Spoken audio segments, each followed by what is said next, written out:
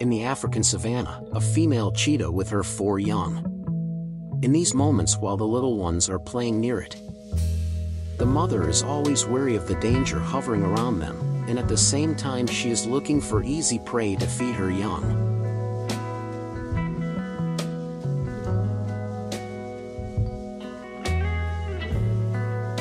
They enjoy playing without knowing what is going on around them.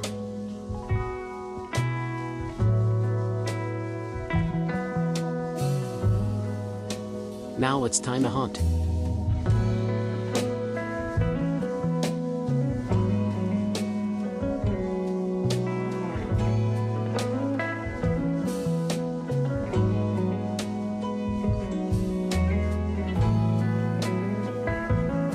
It takes the time to identify the prey and startle it with its tremendous speed.